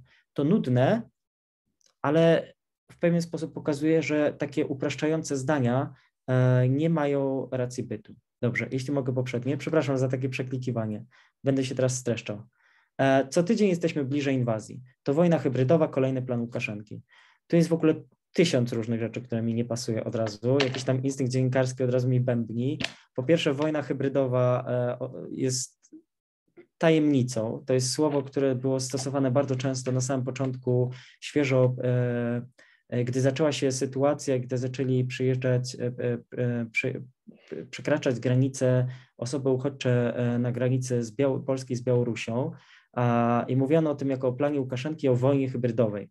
I w tym momencie to bardzo odczłowieczało te osoby, ponieważ e, nagle stawały się pionkami w jakimś planie, e, a niby przestali być ludźmi i ofiarami e, tak naprawdę tego, tej sytuacji. to jest tak zwany instynkt pesymizmu, przez to, że przede wszystkim pierwsze zdanie, co tydzień jesteśmy bliżej inwazji, to instynkt pesymizmu. To znaczy, że wszystko zmierza ku jak najgorszemu. Mimo wszystko mija już ponad rok. E, pamiętamy pierwsze reakcje i myśli o tym, że inwazja jest już teraz, że następna będzie Polska. E, I nawet e, historię o teraz ten rok, który pokazuje ogromną solidarność, a także zwycięstwa osób w, w Ukrainie, mimo wszystko ta narracja, że że wszystko runie, jest bardzo często czymś, co też e, my to nazywamy taką depresją globalną. To jest czymś, co bardzo często dotyka przede wszystkim osoby najmłodsze. Poczucie całkowitej beznadziei, poczucie na przykład tego, że zmiany klimatyczne zostawią nas z niczym, poczucie, że nie ma żadnego ratunku. Temu można przeciwdziałać, e, ciężko jest przeciwdziałać. Jedną z takich taktyk czy strategii jest pokazywanie właśnie alternatyw, albo sugerowanie tego, żeby umiejętnie wybierać wiadomości, albo w ogóle na jakiś czas odciąć się od mediów społecznościowych. To jest jedna z takich e, proponowanych rozwiązań. Rosling proponuje ich więcej. Przepraszam, jeśli mogę poprosić o poprzedni jeszcze raz. Z Ukrainy ucieka coraz więcej ludzi, ich liczba rośnie i rośnie. To jest tak zwany instynkt prostej linii. E, statystyka jednak ma to do siebie, że oczywiście można ją zmanipulować, ale e, nie warto. Poczucie, że liczba osób rośnie i rośnie, powiem wprost, nie jest to w tym momencie prawda. E, jest to informacja, która była przekazywana od pierwszych tygodni, kiedy to była prawda, a później jakoś tak się, jeżeli chodzi o osoby uciekające z Ukrainy, jakoś tak się przyjęło, że tak jest. Obecnie e, liczba osób, które przyjeżdżają z Ukrainy, e, i, ale też które decydują się na przykład wyjeżdżać, jest w miarę stabilna, a nawet stopniowo maleje, to znaczy ten, ten impet maleje. Warto, warto tutaj E, pokazywać statystyki, które są realne, sprawdzone i aktualne. Dobra? Poprzedni. E, to, nie, to, nie, oh, to nieuniknione. Polska będzie następna do inwazji. E, jakoś nie słychać, żeby na to coś robiło. To jest bardzo powiązane z instynktem pesymizmu. To jest tak zwany instynkt strachu. Tutaj przeciw, Rosling proponuje, żeby przeciwdziałać tym, mówiąc o tym, że czy to jest realne zagrożenie. To znaczy, czy zagrożenie, o którym mówimy, jest realne, czy jest ono w naszej głowie. Tak jak tutaj patrzymy, e, calculate the risk e, z tym kluczem, z krokodylem, który nagle zamienia się w klucz e, na obrazku. Wiele z zagrożeń, o których myślimy, jest albo odroczonych, albo mało prawdopodobnych. Dobrze. Do Polski dostało się już półtora miliona uchodźców. Co za horda? To e, nie mówiąc już, nie zwracając nawet e, uwagi na, na, na to odczłowieczającą hordę, e, półtora miliona uchodźców to w rzeczywistości to jest bardzo dużo. Dla, to jest oczywiście liczbowo dużo, natomiast Pamiętam, gdy ta liczba, mogę też powiedzieć, że obecnie szacuje się, że w ogóle z Ukrainy uciekło około 9-10 milionów osób. E, a przez Polskę uciekło około 6-7. Więc mówimy tutaj o dużo większej liczbie. W tym momencie w Polsce znajduje się półtora miliona uchodźców i uchodźczyń. Oczywiście z jednej strony e, zmienia to w pewien sposób, e, zmienia to sytuację w Polsce, natomiast nie jest to liczbowo. Polska była krajem, w którym uchodźców, osób migranckich, cudzoziemców, cudzoziemek E, zazwyczaj było niewiele. Pamiętam jeszcze na, przy e, te, te, pierwsze nagłówki, jeżeli chodzi o granicę polsko-białoruską, kiedy używano dokładnie tego samego zdania, tylko mówiąc, przedostało się 2000 osób. 2000 osób z, z granicy polsko-białoruskiej. I to było pokazywane jako największa liczba pod słońcem. Absolutnie nie. Warto sobie porównać e, przede wszystkim e, liczbę e, społeczeństwa, w Polsce to jest około 40 milionów osób, i jednak zobaczyć tę skalę. Zobaczyć też, gdzie te osoby zazwyczaj najczęściej się znajdują, czyli na przykład w większych miastach, które mogą sobie pozwolić na to, zaoferować coś osobom uchodźczym i pokazać przede wszystkim skalę. Bardzo często właśnie pokazywanie proporcji, procentów trochę odczarowuje ten gigantyzm tych liczb. Dobrze? nie uciekają przed wojną, tylko korzystają z okazji na świadczenia socjalne. Instynkt generalizowania. E, z tym się spotykam na co dzień, szczególnie jeśli mogę powiedzieć e, w rozmowach, to zostanie mam nadzieję między nami, chociaż pewnie jest streamingowane, e, ale szczególnie w, zaskakująco w rozmowach z, z władzami lokalnymi albo z, e, i e, tak muszę przyznać, że porównuję sobie dane, które mam, takie e, jednak liczbowe e, informacje publiczne i porównuję sobie właśnie z tym, co bardzo często powtarzają mi jak mantrę osoby, że e, i na ulicy, i w mediach, i właśnie we władzach lokalnych, że osoby uchodźcze przyjeżdżają tylko po świadczenia socjalne. Jest to tak zwany instynkt generalizowania. On się często wiąże też z, z, z taką potrzebą anegdoty. To znaczy, wszyscy znamy anegdoty pozytywne i negatywne pod tytułem e, Rom ukradł komuś samochód, albo pozytywne przykłady, które są wyjątkiem w regule, w rodzaju e, to jest tak zwany dobry Żyd. Odczarowywanie jednych i drugich jest bardzo ważne w, taki, w edukacji antydyskryminacyjnej. E, pokazywanie, że żaden przykład nie jest ani wyjątkiem w regule, ani przykładem, który pokazuje jakąkolwiek regułę, bo nie ma żadnej reguły. E, bo nie ma żadnej reguły i myślę, że to jest taką podstawą, a jeżeli jakaś reguła jest, to prosiłbym o trochę większą statystykę niż dwie osoby poznane na poczcie. Mm, dobrze, poprzednie. E, wojna w Ukrainie nigdy się nie skończy. Druga Jugosławia. Pomijając właśnie te kwestie, to jest tak zwany instynkt pojedynczej, e, przepraszam, instynkt przeznaczenia to jest bardzo powiązane z poczuciem fatalizmu, bardzo powiązane z takim poczuciem też e, tego, że wszystko zmierza e, ku gorszemu. Mimo wszystko, a minął już, biorąc, przepraszam, że biorę na warsztat e, sytuację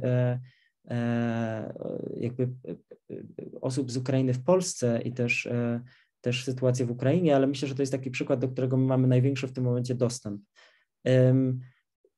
to jest taki instynkt, który, który nam ciągle towarzyszy. To znaczy, ciągle towarzyszy nam przekonanie, że będzie tylko gorzej. E, co ciekawe, w momencie, kiedy zaczęły się pokazywać informacje, widziałem ostatnio taki bardzo ciekawy raport, w momencie, kiedy zaczęły się pokazywać informacje o kontrofensywie ukraińskiej, ludzie stracili zainteresowanie mediami i sytuacją w Ukrainie. Jest taka e, ciekawa, e, jakby ciekawa współzależność między tym, gdy przestało być źle, ludzie stracili zainteresowanie. Gdy e, ta narracja zaczęła się załamywać, przez chwilę było poczucie e, dumy e, i sukcesu, ale później ludzie bardzo często przestali śledzić informacje dotyczące Ukrainy, bo nie, spotyk- nie co też jest ciekawe, nie spotykały się z tym ich instynktem. Czyli ich instynkt mówił, że jest coraz gorzej, że nieunikniona jest klęska, ale wiadomości podawały coś przeciwnego. Więc w tym momencie wiele z osób zdecydowało o tym, żeby przestać czytać wiadomości, żeby dalej e, myśleć o tym instynkcie. Już kończę. Mhm. E, dobrze.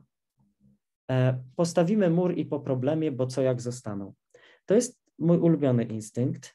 E, instynkt pojedynczej perspektywy, czyli pojedynczego rozwiązania. E, zazwyczaj jedno, nie ma jednego rozwiązania do konkretnego problemu i mówienie o tym, jakie mogą być różne rozwiązania, szczególnie w klasie, mówienie o tym, to jest realny problem, a teraz cztery grupy e, spróbują nad nim e, pracować i pokazywanie, że powstają cztery zupełnie różne pomysły jest moim ulubionym, ulubionym narzędziem. Kolejne. To wszystko przez rząd, to wszystko przez Putina. E, ważne jest to, że to jest tak zwany instynkt szukania winnego. Szukamy winnego, ponieważ jest nam łatwiej wskazać jedną, jed, jednego winnego, niż myśleć na przykład o tym, że albo poczucie, albo mieć poczucie odpowiedzialności za sytuację, albo mieć poczucie, że na przykład winny może być system. E, jednak dużo łatwiej jest nam wskazać konkretną osobę, a nie różne elementy, które się składają na konkretny problem. I ostatnie, działamy teraz albo wcale. E, z tym instynktem nie mam aż takiego problemu. Myślę, że to jest bardzo naturalne i czasami nawet zdrowe. E, żeby działać pod wpływem chwili. Problem jest taki, kiedy myślimy, że albo działamy teraz, albo nigdy, że takie poczucie ciągłego kryzysu i napięcia, że albo jedziemy teraz na granicę pomagać, albo już nie ma po co. Ten pierwszy zryw to bardzo dobrze też pokazał. I takie poczucie, że pewne rzeczy można, że trzeba też zatroszczyć się o siebie, że trzeba samemu być w dobrym miejscu, że może jako na przykład osoba młodsza albo nie mając wsparcia, e, potrzebujemy trochę jednak więcej danych, informacji i, i pomocy, zanim się rzucimy pomagać jest zawsze e, jakąś taką dobrą lekcją. Ja tutaj chciałem też dodać trzy inne instynkty. Instynkt niewiedzy i chaosu. I tak się nie dowiemy, informacje są sprzeczne. Instynkt pozornej ugody. Ty masz swoją opinię, a ja swoją, każdy ma swoją rację. I instynkt czarnych okularów. Prędzej czy później Rosja wygra, nic się nie da zrobić. Ten instynkt czarnych okularów oczywiście jest bardzo powiązany z tym, z wieloma poprzednimi. Instynkt niewiedzy i chaosu ja czasami prowadzę takie szkolenia dziennikarskie albo fact-checkerskie związane z tym, w jaki sposób wyszukiwać sobie informacje, tak żeby jednak mieć poczucie, że te informacje są rzetelne i że nie przygnębiają nas, tylko ma, ma się do czynienia z jakąś taką konkretną e, informacją. No i instynkt pozornej ugody, takie poczucie, e, że myślę, że o tym jeszcze wspomnimy, ja już kończę. E, konflikt jest konflikt nie jest czymś złym. Wojna, tak, ale konflikt nie jest czymś złym, jest czymś naturalnym. I niezgoda, czy jakaś taka, takie poczucie, że ma się in, różne opinie, nie jest też czymś e, samym w sobie e, błędnym. E, po prostu są różne metody rozwiązywania tego konfliktów i tego poróżnienia różnych opinii, o czym też pewnie jeszcze wspomnimy. E, I takie poczucie, że możemy zostać ze swoją opinią ale wszystkie opinie są tej samej wartości, bardzo często prowadzi wbrew pozorom do tego, że przestaje nam zależeć na sprawdzaniu informacji i przestaje nam zależeć na, na tym, żeby zależało nam na tym, żeby mieć poczucie, że to, w co wierzymy, na przykład właśnie e, kwestie związane z pomocą, z nadzieją, jest dla nas ważne, ponieważ sami to w sobie osłabiamy. Dobrze, dziękuję pięknie za to takie szybkie ćwiczenie i idziemy dalej. Dzięki serdecznie za taki konkretny fact-checkingowy kawałek. Myślę, że on się nam bardzo przyda.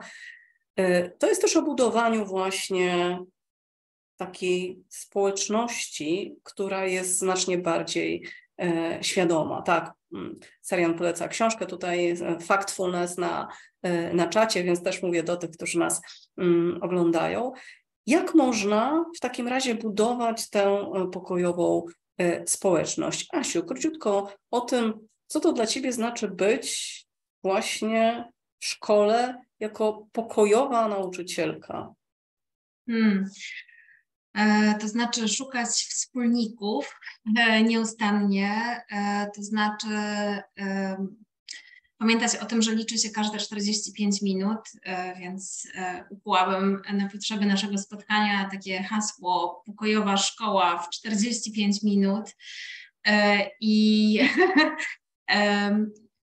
to nie jest, to nie jest przepis ala podręczniki yoga w dwa tygodnie albo jak opanować. Jakąś ważną umiejętność podczas weekendowego szkolenia, E, bo e, przed chwilą Sarian mówił o tym pośpiechu, który e, często jest złym doradcą i ja też myślę, że kierunek jest o wiele ważniejszy niż prędkość. I oczywiście takim kierunkiem, takim punktem driszti, żeby zostać przy jodze, czyli takim punktem skupienia wzroku dla polskiej edukacji powinien być pokój, E, ale mówiąc e, o pokojowej szkole w 45 minut, mam raczej na myśli to, że nie można zadbać żadnych z tych 45 minut, jeśli chce się budować pokojową szkołę.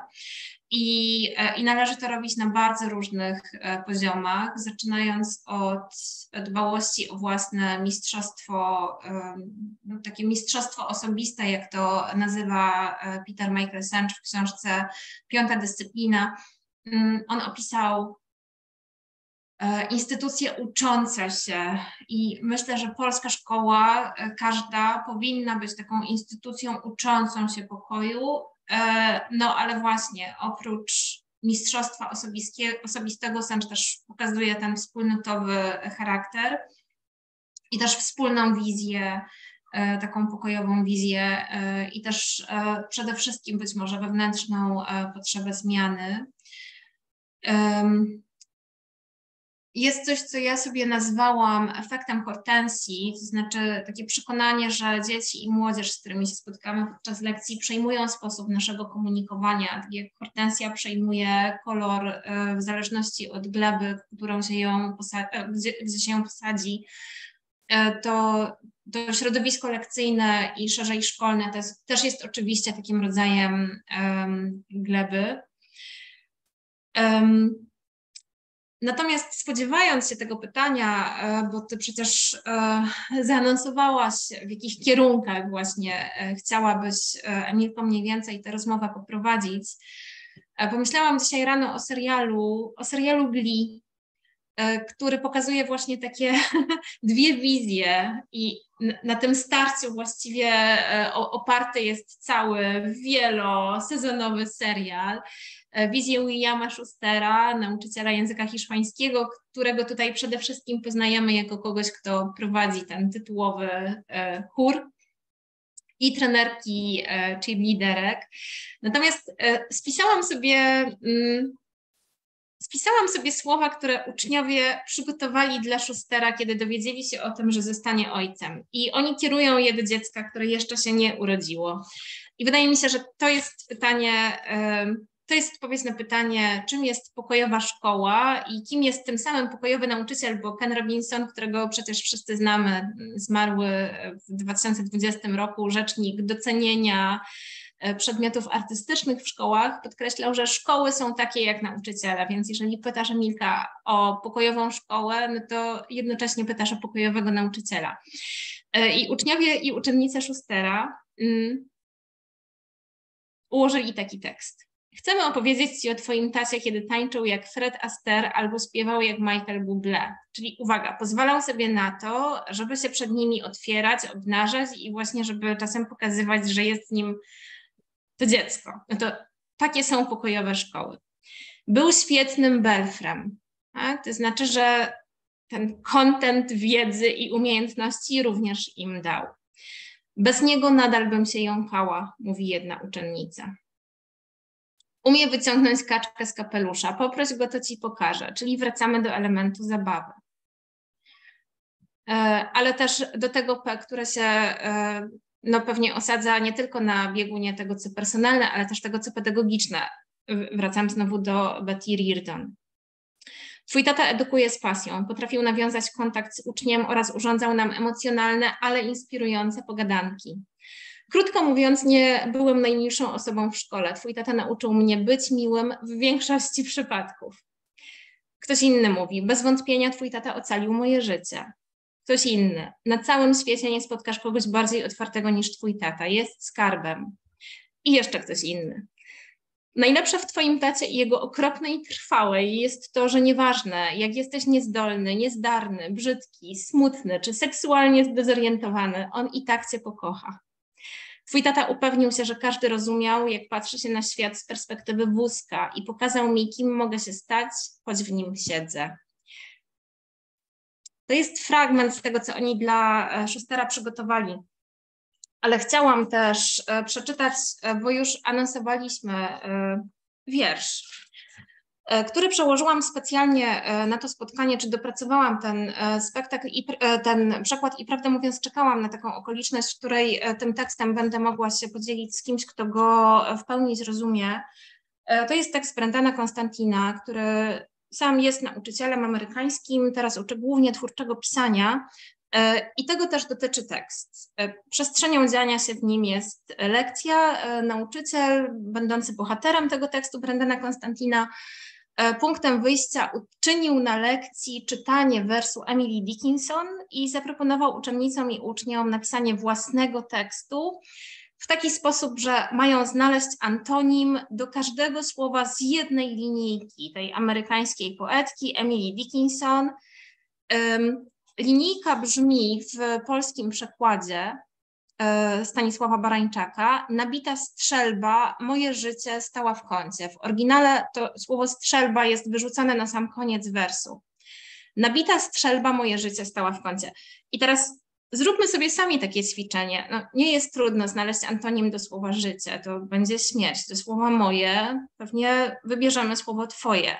Do słowa stało e, powiemy, no nie wiem, będzie siedzieć, bo zmienimy też czas ale jaki znaleźlibyśmy, jaki znalazłybyśmy antonim do słowa strzelba. E, to nie jest najkrótszy tekst, ale warto go przeczytać, więc to w prezencie dla Państwa, a wszystkie ewentualne e, mielizny to jest rzecz nie e, Konstantina, tylko tłumaczki. Gra w przeciwieństwa, taki jest tytuł, dla Patrici Meisz. Wtedy moi uczniowie i ja gramy w przeciwieństwa. Z wersem Emily Dickinson. Nabita strzelba, moje życie stała w kącie. Tak właśnie brzmi, zapisuję go na tablicy, zatrzymując się, aby mogli rozpracować antonimy. Moje, twoje, życie, śmierć, stała, będzie siedzieć. Jedna, wiele, nabita, pusta, strzelba, strzelba. Y, więc też zauważam, że jesteśmy, jeśli chodzi o temat, na obszarze edukacji y, o wojnie, bo strzelba, ale jesteśmy też y, na poziomie edukacji, która jest kreatywna, czyli nie jest właśnie taką bankową teorią, którą opisał Freire. To kontynuuję. Przez chwilę bardzo podobną do tej pomiędzy błyskawicą a grzmotem, dzieci jedynie się na mnie gapią, a potem nadciąga nawałnica z gradem odpowiedzi. Kwiat, mówi jeden. Nie, książka, mówi kto inny. To głupie, krzyczy trzeci. Przeciwieństwem strzelby jest poduszka albo przytulenie, ale nie książka, nie ma mowy, żeby to była książka. Wtedy inni zbierają myśli i już mamy krzykliwe zawody. Nikt nie może się zgodzić, każdy znalazł ostateczną odpowiedź. To piosenka, modlitwa, Mam na myśli obietnicę, jak weselna obrączka i później dziecko. Albo jak się mówi na tę osobę, która odbiera dzieci? Położna? Tak, położna. Nie, słabo. Jesteś w takim błędzie, że nigdy nie będziesz mieć racji. To szept, gwiazda, to mówienie kocham cię w twoją dłoń, a potem dotykanie czyjegoś ucha. Odbiło ci? Jesteś prezydentem kraju idiotów? Powinieneś być. Kiedy wybory? To pluszowy miś, miecz, idealna, idealna brzoskwinia. Wróćmy do początku. To kwiat, biała róża. Kiedy słychać dzwonek, sięgam po gąbkę, ale dziewczyna wyrywa mi ją z ręki. Nie zapadła żadna decyzja. Mówi, jeszcze nie skończyliśmy. Zostawiam wszystkie odpowiedzi na tablicy. Następnego dnia niektórzy z nich przestali ze sobą rozmawiać. Opowiedzieli się po którejś ze stron. Jest klub kwiatów i klub kociat, kociaków i dwóch chłopców nazywających siebie snowballami. Reszta trzymała się oryginalnej gry, w której mieliśmy próbować pisać coś w rodzaju poezji. To taniec, to diamentowe trofeum, przeciwieństwem strzelby jest francuskie muzeum, to księżyc, to zwierciadło, to dźwięk dzwonka i myśl, którą się odgadło. Kłótnia zaczyna się od nowa. Więcej krzyków i wreszcie nowy klub. Po raz pierwszy odważa się ich naprowadzić. Może wszyscy macie rację, mówię. Cóż, może. Może jest wszystkim, o czym powiedzieliśmy. Może wszystkim, o czym nie powiedzieliśmy. To słowa i przestrzenie na słowa. Teraz spoglądają po sobie. To wszystko w tym pokoju, poza tym pokojem, na ulicy i na niebie. Wszyscy na kampusie i w centrum handlowym, i wszyscy ludzie czekający w szpitalu i na poczcie, i właśnie to kwiat również. Wszystkie kwiaty, cały ogród. Przeciwieństwem strzelby jest to, gdzie ją wycelujesz. Mówią, by nie zapisywać tego na tablicy, po prostu powiedzieć wiersz. Twoja śmierć przeniknie przez wiele pustych wierszy. Więc mam nadzieję, że niektórzy z Państwa zrozumieli, dlaczego mnie ten tekst ujął od pierwszego przeczytania, bo ta lekcja opisana w utworze jest pokojowa na każdym poziomie właściwie. Dochodzi w niej do takiego autentycznego polilogu. Nauczyciel nie stoi na katedrze, docieka ra, razem z uczennicami uczniami, umie zażegnać potencjalny konflikt i ponadto pozwala na szukanie antonimów do słowa strzelba, które się kojarzy z wojną, przemocą, niepokojem, śmiercią. E, a dzieci, czy raczej e, młodzież e, znajduje antonimy w na przykład słowie diament, które kojarzy się z czymś cennym, ale chciałam zauważyć, że tam pojawia się bardzo wiele skojarzeń związanych ze sztuką. Muzeum, książka. Więc tutaj też przychodzi mi do głowy taki cytat z Jonathana Larsona, autora musicalu Rent, który mówił, że przeciwieństwem wojny nie jest pokój, ale tworzenie. I ja mm, wielu różnych definicji pokoju. E, te bardzo też, e, też lubię. Dzięki.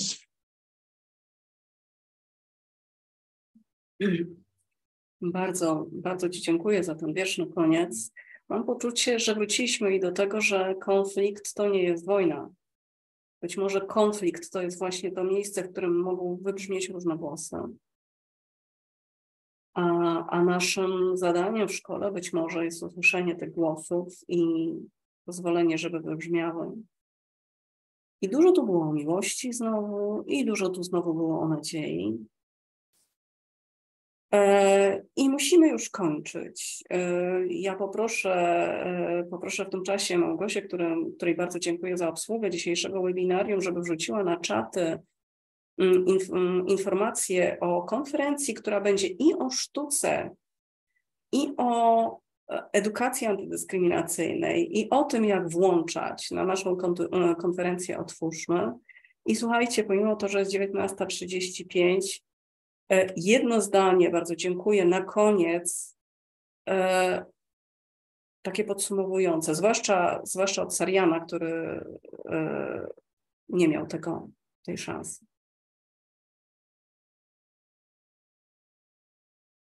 Okej. Okay. Dziękuję przede wszystkim za, za, za obecność i za słuchanie tego. Ja mogę też zrobić taki skromny coming out E, dla mnie osobą, która, która mnie popchnęła w tę stronę i praw człowieka i pokoju, jest właśnie prowadząca to, to, to nasze spotkanie, więc myślę, że ta praca, ona się dzieje. To znaczy, ona się dzieje i ma realne efekty. Bardzo dziękuję. Dziękuję. Jeszcze nie było takiej sytuacji, że płakała na webinarium.